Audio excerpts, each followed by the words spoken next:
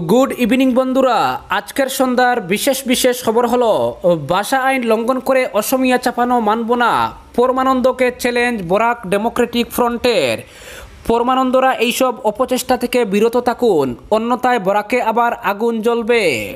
আসাম চুক্তি রূপায়ণে আট সদস্যের কমিটি, তিন মন্ত্রী আসুর পাঁচ, রিপোর্ট দিতে হবে তিন মাসের মধ্যে। এই আসাম চুক্তি সম্বন্ধে বিস্তারিত থাকবে প্রতিবেদনে।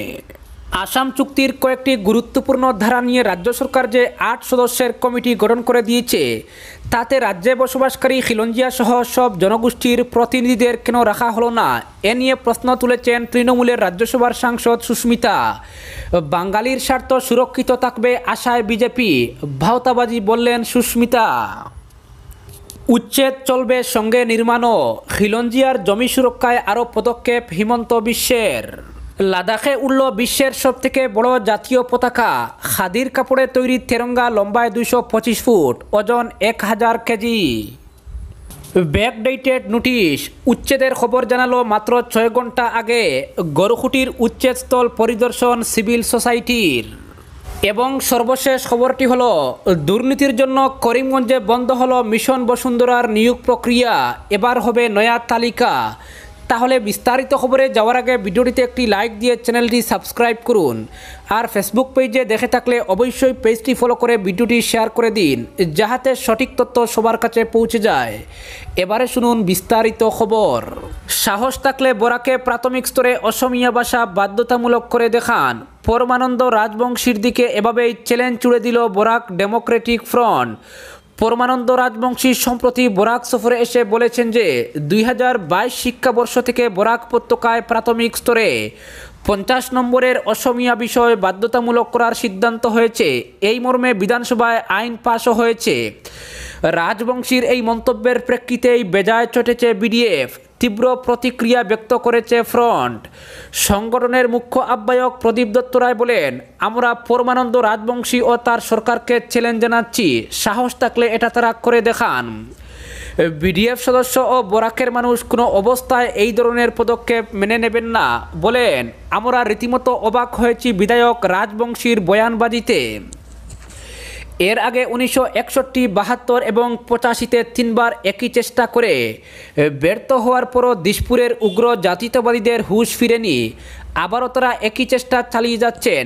প্রদীপবাবু বলেন, বরাকের জনগণ কখনই একষট্টি বা পঁচাশির বাসা শহীদদের কথা ভুলে যাবেন না। তাই পরমানন্দরা এইসব অপচেষ্টা থেকে বিরত থাকুন, অন্যথায় বরাকে আবার আগুন জ্বলবে। বিডিএফ নেতারা আরও বলেন, এই উগ্র জাতীয়তাবাদীরা ভুলে যান যে, জোর করে বার্ষিক আধিপত্যবাদ চাপিয়ে দেওয়ার চেষ্টা করায় আসাম থেকে বেরিয়ে গেছে মিজোরাম, মেঘালয়, অরুণাচল প্রদেশ। এরপরে যে আসাম অবশিষ্ট ছিল তাও আজ নেই।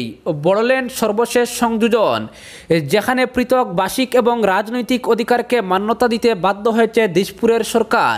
আশু নেতা প্রফুল্ল মহন্ত, ভৃগু ফুকনরা গুয়াহাটি বিশ্ববিদ্যালয়ের পড়ুয়া। তৎকালীন বড় স্টুডেন্টস ইউনিয়নের নেতা উপেন ব্রহ্মকে শারীরিক নিগ্রহ না করলে হয়তো আজকের বড়োল্যান্ডের জন্ম হতো না। এইসব তো বাসিক আগ্রাসনের কুফল। ফ্রন্টের মুখ্য আহ্বায়ক প্রদীপের কথায়, বর্তমান সরকারের আমলে বাসিক আগ্রাসনের চক্রান্ত বেড়েই চলেছে। ইদানিং কৌটের করণিক এবং নকল নবিশের নিয়োগ পরীক্ষায় পঞ্চাশ মার্কসের অসমিয়া পরীক্ষা বাধ্যতামূলক বলে বিজ্ঞপ্তি জারি করেছে গৌহাটি হাইকোর্ট। তাহলে গৌহাটি হাইকোর্ট কি উনিশশো একষট্টির ভাষা আইন সম্পর্কে ওয়াকিবহাল নন? তারা কি জানেন না যে বরাকের সরকারি ভাষা বাংলা? জনমানসে এইসব প্রশ্ন তো স্বাভাবিক। বরাকে যেখানে অসমিয়া ঐচ্ছিক বিষয়, তাই এইসব পরীক্ষা হলে নিশ্চিত পিছিয়ে পড়বেন বরাকের প্রার্থীরা। প্রদীপবাবুর বক্তব্য, পরমানন্দ রাজবংশী যখন এইসব বিতর্কিত মন্তব্য করেছেন, তখন তার পাশে ছিলেন শিলচরের বিজেপি বিধায়ক তিনি তা বরাকের তার দলের নেতারা এইসব নিয়ে কখনো টু শব্দটি করেননি। আশা করি আগামীতে এইসব মেরুদণ্ডহীন নেতাদের যোগ্য জবাব দেবেন বরাকের জনগণ। তাছাড়া বরাকের বেশিরভাগ মানুষ অসমিয়া লিখতে, পড়তে জানেন। অসমিয়া কৃষ্টি সংস্কৃতির সম্মান করেন। অথচ এই সরকার বরাকের বাঙালি ও অন্য জনগোষ্ঠীর মধ্যে বিভাজন সৃষ্টির ঘৃণ্য চক্রান্ত শুরু করেছে। বিডিএফ এমন ষড়যন্ত্র কখনো সফল হতে দেবে না। অপরদিকে চৌত্রিশ বছরের পুরনো আসাম চুক্তি রূপায়ণের জন্য বিশেষভাবে ছয় নম্বর দ্বারা সহ সাত, নয় এবং দশ নম্বর দ্বারার বাস্তবায়ন করতে রাজ্য সরকার আট সদস্যের কমিটি গঠন করল আজ। আসাম চুক্তি রূপায়ণ বিভাগের কমিশনার এবং সচিব জিডি ত্রিপাঠী শনিবার আনুষ্ঠানিকভাবে এই কমিটি গঠনের কথা ঘোষণা করেন। উল্লেখ্য, গত মাসের সাত সেপ্টেম্বর মুখ্যমন্ত্রী হিমন্ত বিশ্ব শর্মা আশু নেতাদের সঙ্গে বৈঠকে আসাম চুক্তি রূপায়ণের জন্য রাজ্য সরকারের আন্তরিকতার ইঙ্গিত দিয়ে বলেছিলেন যে, অবিলম্বে চুক্তির প্রতিটি ধারা বাস্তবায়নের জন্য রাজ্য সরকার একটি বিশেষ কমিটি গঠন করে দেবে। সেই সূত্র ধরেই এই কমিটি গঠনের কথা ঘোষণা করল রাজ্য সরকার। এই কমিটিতে থাকছেন আসাম চুক্তি রূপায়ণ মন্ত্রী অতুল বোরা, জল সম্পদ এবং তথ্য সম্প্রচার মন্ত্রী পীযূষ হাজারিকা এবং অর্থমন্ত্রী অজন্তা নেওগ আসুর পাঁচ প্রতিনিধির মধ্যে রয়েছেন সংগঠনের সভাপতি দীপাঙ্ক কুমার নাথ, সাধারণ সম্পাদক শঙ্করজ্যোতি বড়ুয়া, মুখ্য উপদেষ্টা সমুজ্জ্বল ভট্টাচার্য, আরেক উপদেষ্টা প্রকাশচন্দ্র দাস এবং উদ্দীপ্ত গগৈ। এই কমিটির আহ্বায়ক হবেন আসাম চুক্তি রূপায়ণ বিভাগের উপসচিব সুজাতা সুচিব্রত সরকারি এক বিজ্ঞপ্তিতে একথা জানিয়ে বলা হয়েছে, আগামী তিন মাসের মধ্যেই কমিটি চুক্তির ধারাগুলো কীভাবে রূপায়ণ হবে তার উপায় উদ্ভাবন করে সেটা প্রতিবেদন আকারে রাজ্য সরকারের কাছে পেশ করবে। এর আগেই রাজ্যপাল জগদীশমুখী আসাম চুক্তির ধারাগুলো রূপায়ণের লক্ষ্যে ছয় সদস্যের একটি সাব কমিটি গঠন করে দিয়েছেন। এই কমিটির বিশেষ তাৎপর্যপূর্ণ দিক হল, ছয় নম্বর দ্বারা রূপায়ণের পথ চূড়ান্ত করে তা সরকারের সামনে পেশ করা। এই কমিটির ধারাগুলো বাস্তবায়ন এবং তার আইনি জটিলতাগুলোর বিষয় নিয়ে আলোচনা করে ইতিমধ্যেই বিপ্লব শর্মা নেতৃত্বাধীন একটি কমিটি সরকারের কাছে প্রতিবেদন পেশ করেছে। এই প্রতিবেদন কেন্দ্রের কাছে পাঠানোর বিষয় নিয়ে সর্বানন্দ সরকারের আমলে বহু জলগুলা হয়েছে। এই প্রেক্ষাপটে নতুন কমিটি গঠনের বিষয়টি যথেষ্ট তাৎপর্যপূর্ণ। দীর্ঘ ছয় মাস পর বিদেশি খেদা আন্দোলনের জের ধরে উনিশশো পঁচাশি সালে আসাম চুক্তি স্বাক্ষরের পর আন্দোলনের জবনিকা পড়লেও বিদেশি সমস্যার সুরাহা এখনও হয়নি। এই চুক্তিতে বলা হয়েছিল, উনিশশো একাত্তর সালের পঁচিশ মার্চের পর যারা আসামে প্রবেশ করবেন, তাদের সবাইকে বিদেশি বলে শনাক্ত করে আসাম থেকে অন্য রাজ্যে স্থানান্তর করতে হবে।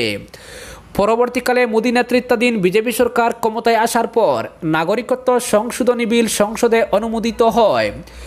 এই বিলে বলা হয়েছে, দুই হাজার চোদ্দ সাল পর্যন্ত পাকিস্তান, বাংলাদেশ, আফগানিস্তান থেকে যেসব হিন্দু শরণার্থী ভারতে এসেছেন, তাদেরকে শুধু নাগরিকত্ব দেওয়া হবে।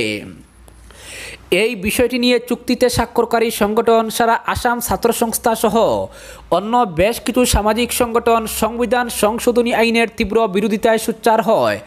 পরবর্তীকালে অবশ্য এই আন্দোলন স্তীমিত হয়ে পড়ে এবং আশু নেতারা সরকারের সঙ্গে আলোচনায় বসতে আগ্রহ প্রকাশ করেন। আসাম চুক্তির ছয় নম্বর ধারায় বলা হয়েছে, রাজ্যে বসবাসকারী খিলঞ্জিয়াদের সাংবিধানিক আইনি এবং প্রশাসনিক সুরক্ষা সহ চাকরি বাকরি ব্যবসা এবং বিধানসভায়ও খিলঞ্জিয়াদের জন্য বিশেষভাবে আসন সংরক্ষণ করতে হবে। তাছাড়াও উনিশশো একাত্তর সালের পঁচিশ মার্চের পর আগত সব সম্প্রদায়ের মানুষকে আসাম থেকে বিতাড়িত করতে হবে। পাশাপাশি অসমিয়া জনগোষ্ঠীর সাংস্কৃতিক, সামাজিক, বার্ষিক অস্তিত্ব রক্ষা করার প্রয়োজনীয় ব্যবস্থা নিতে হবে। এই চুক্তির ওই সাত নম্বর দ্বারায় বলা হয়, রাজ্যের সার্বিক আর্থিক উন্নয়নে সরকারকে প্রয়োজনীয় ব্যবস্থা গ্রহণ করতে হবে। তাছাড়াও রাজ্যের শিক্ষা, বিজ্ঞান এবং প্রযুক্তির প্রথম সারির প্রতিষ্ঠান গড়ে তোলার ব্যবস্থা করতে হবে।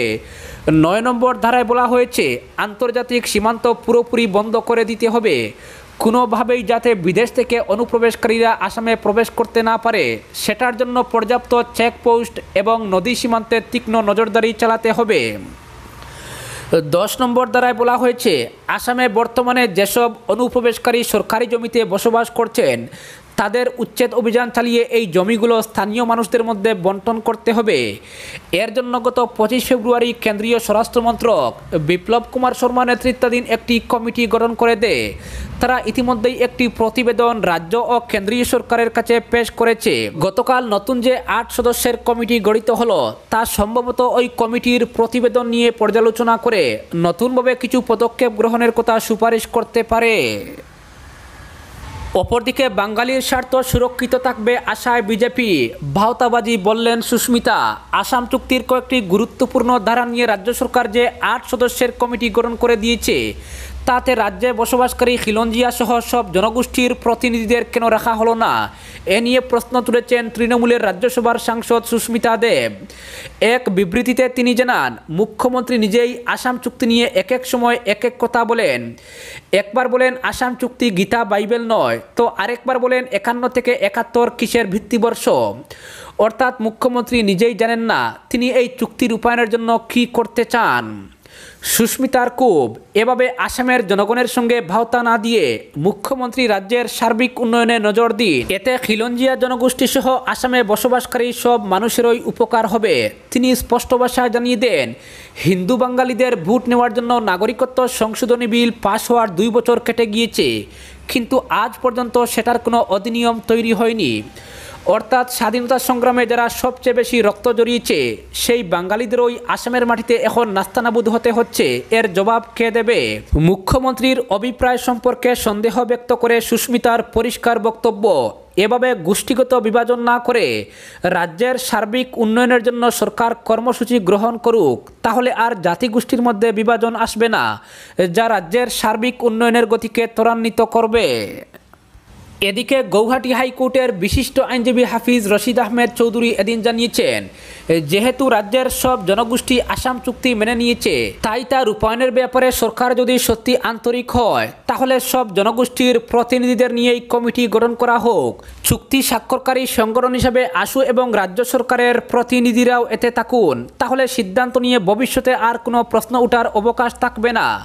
তিনি মনে করেন, আসাম চুক্তির মতো স্পর্শকাতর বিষয় নিয়ে রাজনীতি করা ঠিক নয়। এতে আখেরে রাজ্যের বিভিন্ন জনগোষ্ঠীর মধ্যে দূরত্ব তৈরি হবে যা কখনোই উচিত নয়। এদিকে বরাক উপত্যকা বঙ্গ সাহিত্য ও সংস্কৃতি সম্মেলনের কেন্দ্রীয় কমিটি ছয় নম্বর দ্বারা সহ চুক্তির অন্য সব বিষয় নিয়ে এক গুরুত্বপূর্ণ বৈঠকে বসছে করিমগঞ্জে। এই বৈঠকে ছয় নম্বর দ্বারায় বাঙালিদের অবস্থান কি হবে তারা কি খিলঞ্জিয়া সংজ্ঞার মধ্যে পড়বেন? এইসব বিষয় নিয়ে পর্যালোচনা হবে। অপরদিকে উচ্ছেদ চলবে সঙ্গে নির্মাণও। খিলঞ্জিয়ার জমি সুরক্ষায় আরও পদক্ষেপ হিমন্ত বিশ্বের।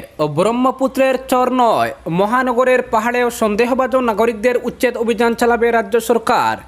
তবে পাশাপাশি চলবে নির্মাণের কাজও, এই মন্তব্য মুখ্যমন্ত্রী হিমন্ত বিশ্ব শর্মার। সংবাদ মাধ্যমে হিমন্ত বলেন, শরণিয়া পাহাড়েও সরকার সন্দেহজনক নাগরিকদের উচ্ছেদ অভিযান চালাবে। ইতিমধ্যে তিনি মহানগরের ডিসিকে নির্দেশ দিয়েছেন। কারণ খিলঞ্জিয়া নাগরিকদের বাদ দিয়ে শরণিয়া পাহাড়ের আশেপাশে থাকা সন্দেহজনক নাগরিকদের উচ্ছেদ করা হবে। কারণ সরকারের কিছু শিথিলতার সুযোগ নিয়ে একাংশ সন্দেহজনক লোক পাহাড়ের আশপাশ এলাকা জবরদখল করে বসেছে। তিনি বলেন, পাহাড়ের জমি প্রথমে স্থানীয় লোকেরা দখল শুরু করে, পরবর্তীতে সন্দেহজনক লোক বসতি স্থাপন করে, মহানগরের উচ্ছেদ অভিযানে মানবিক দিকটি সামনে রাখবে সরকার। এজন্য তিনি জনগণের সঙ্গে আলোচনা করে সিদ্ধান্ত নেবেন বলে জানান মুখ্যমন্ত্রী। কারা বহুদিন থেকে এসেছে আর কারা নতুন করে বসতি স্থাপন করেছে, তাদের শনাক্ত করে ব্যবস্থা করা হবে। তিনি বলেন, উচ্ছেদের বিষয় এলে অনেকে বলবে, এই সরকার কি উচ্ছেদের সরকার? ফলে উচ্ছেদের সঙ্গে সঙ্গে নির্মাণেরও কাজ চালিয়ে যাবে সরকার। এদিকে সরকারি অফিসে আর দালাল আসবে না। দালালরা ভালো মানুষ। তারা এন্টারপ্রাইজিং সরকারি অফিসকে ম্যানেজ করেও তারা বিভিন্ন কাজ করে। প্রয়োজনে সরকার তাদের জন্য বিভিন্ন স্কিমের ব্যবস্থা করে দেবে। কিন্তু আসল চিন্তা সরকারি বেতনভোগী দালালদের নিয়ে। সরকারি ব্যবস্থার মধ্যে যদি দালাল রাজ থাকে, তাহলে কোনো কাজই সফল হবে না। শনিবার এমনই মন্তব্য করেছেন মুখ্যমন্ত্রী হিমন্ত বিশ্ব শর্মা। দালালির অভিযোগে ইতিমধ্যে দুই তিনজন লাট মণ্ডলকে গ্রেফতার করা হয়েছে। এক রাতে সমগ্র রাজ্যে সাতশত দালালকে গ্রেফতার করে পুলিশ। কিন্তু রাজ্যের বিভিন্ন থানায় দালালদের জেরা করার সময় উঠে আসে। একের পর এক ডিসি, এডিসি, এসডিসির নাম। সরকারি এসব বেতনভোগীদের নিয়েই চিন্তিত মুখ্যমন্ত্রী। অপরদিকে গরুকুটির উচ্ছেদ অভিযান যে মানবিক ছিল না, সেটা শনিবার সরজমিনে প্রত্যক্ষ করে এলেন আসাম সিভিল সোসাইটির প্রতিনিধিরা। এ নিয়ে সকালে গুয়াহাটি থেকে রওনা দিয়ে তারা সিপাজাড়ে যান এবং সেখান থেকে উচ্ছেদস্থল গরুকুটির পরিস্থিতি পর্যবেক্ষণ করেন। পরে সংগঠনটির সাধারণ সম্পাদক আব্দুর রহিম শেখ সাংবাদিকদের বলেন, লোকজন রীতিমতো অসহায় অবস্থার মধ্যে দিন কাটাচ্ছেন। শুধু তাই নয়, দশ সেপ্টেম্বরের জারি করা নোটিশ গরুহুটির বাসিন্দাদের হাতে তুলে দেওয়া হয়েছে উনিশ সেপ্টেম্বর রাত নয়টার পর। একইভাবে বিশ সেপ্টেম্বর সেখানে উচ্ছেদ অভিযান চালানো হয়। দ্বিতীয়ত, তেইশ সেপ্টেম্বর যে উচ্ছেদ অভিযান চলে, তার নোটিশ জারি হয়েছিল পনেরো সেপ্টেম্বর। কিন্তু স্থানীয় বাসিন্দাদের কাছে এই নোটিশ আগের দিন রাত বারোটায় তুলে দেওয়া হয়। এখানে স্বাভাবিকভাবেই প্রশ্ন উঠে, দশ ঘণ্টার মধ্যে এলাকার মানুষজন কীভাবে নিজেদের সমস্ত জিনিসপত্র নিয়ে অন্যত্র যাওয়ার সুবিধা পাবেন? এটা কি উদ্দেশ্য প্রণোদিত অভিযান নয়? প্রশ্ন তুলেন প্রতিনিধি দলের সদস্যরা। সংগঠনের সম্পাদক আব্দুর রহিম শেখ অভিযোগ করেন, এক অসহায় অবস্থার মধ্যে দিন যাপন করছেন শত শত লোক। সেখানে কোনো পানীয় জলের ব্যবস্থা নেই নেই সুস্থ শৌচাগারের ব্যবস্থা। কোনো চিকিৎসার ব্যবস্থা না থাকায় বহু লোক নানা ধরনের রোগে আক্রান্ত হচ্ছেন।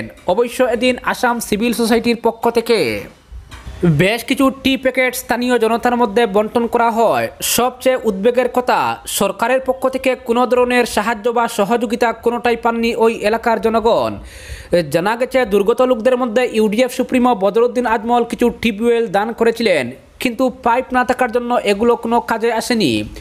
বর্তমানে খোলা আকাশের নিচে জীবনের ঝুঁকি নিয়ে দিন কাটাচ্ছেন তারা, অভিযোগ আসাম সিভিল সোসাইটির। কিছু কিছু বেসরকারি স্বেচ্ছাসেবী সংস্থা সামান্য ত্রাণ সাহায্য দিলেও দুর্গত লোকরা এখনও এক ভয়ঙ্কর অবস্থার মধ্যে দিন কাটাচ্ছেন।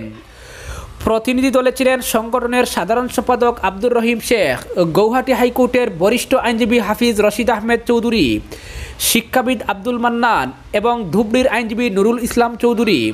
ঘটনাস্থলের সার্বিক পরিস্থিতি নিয়ে আজ আসাম সিভিল সোসাইটির অন্য সদস্যদের সামনে তাদের বাস্তব অভিজ্ঞতার কথা তুলে ধরবেন বলে জানা গেছে। আজকের বিশেষ বিশেষ সংবাদ এখানেই সমাপ্ত।